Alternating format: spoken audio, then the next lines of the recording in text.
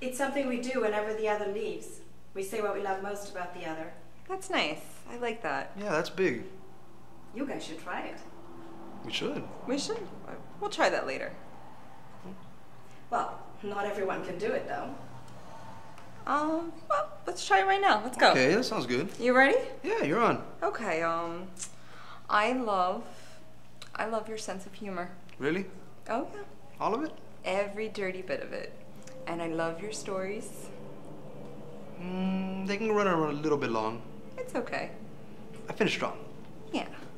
And I love, I love that you read the index cards. Of course. And I, I don't know, I just, I like, I just love spending time with you. That's it. Game over. It's good enough for me. Oh, Danny. All right, we have to.